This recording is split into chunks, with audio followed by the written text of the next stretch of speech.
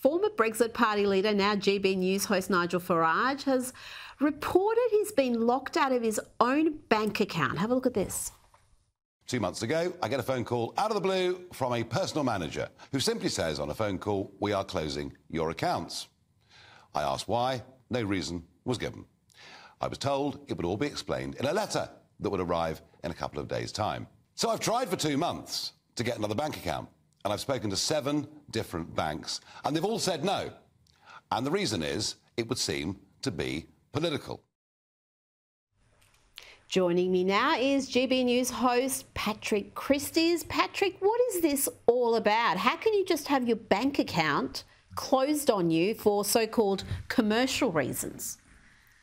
Well, this is it. We all know it's not really commercial reasons, don't we? And this is very mm. sinister. This is the kind of thing that you would see in communist China under a social credit system. But we are seeing it right now here on the streets of Britain. There could be a couple of reasons overtly politically behind this. One MP, who I won't do the favour of naming on this because I'd rather that they didn't exist, frankly, used parliamentary privilege in our House of Commons to essentially slander and defame Nigel by saying that he accepted a load of Russian mm. money, which is completely untrue. But that now oh. stands on the record.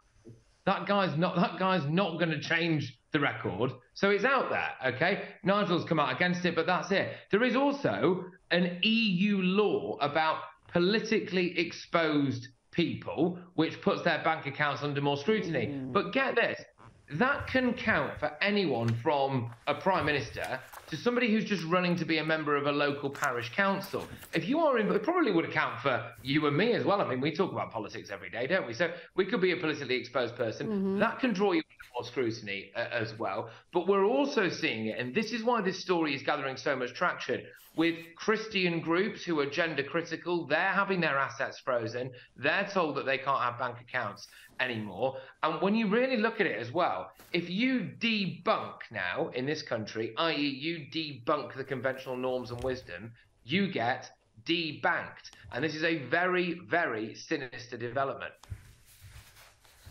Oh, sinister indeed. It's Orwellian. It seems to be some sort of a social credit system we've just uh, embraced here.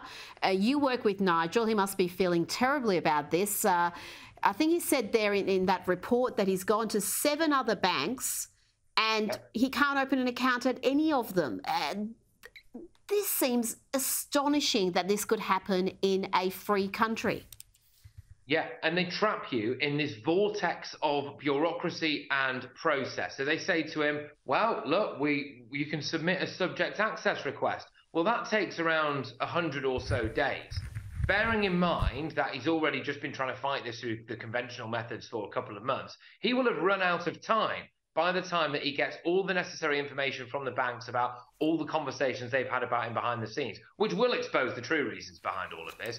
But that will be too late for Nigel. Mm-hmm. And what this really means is if you don't have a bank account, as everybody knows, I mean, you can't really function, especially with this push towards a cashless society. If Nigel wanted to go and get another mortgage somewhere or just wanted to do anything, frankly, then he wouldn't really be able to do it. They were trying to make him a non person. But I really do think there is more to this than meets the eye. I think they don't want him to just become a non person. What they really want is for Nigel Farage to leave the country and have to go and try and set up in America or Australia or somewhere else. They just want him out of Britain. And if this is happening to Nigel, okay, who's got a platform and is a very good speaker and who can come out and create some kind of snowball effect behind this, that's one thing. But this could happen to the little guy. This could happen to anybody, and it is wrong.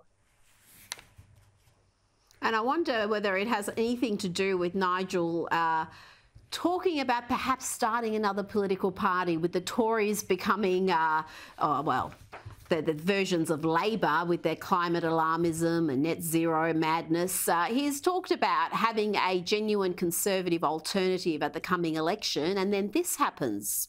Something to think about, yeah. Patrick Christys. Thank you so much uh, for joining me tonight. I do appreciate it.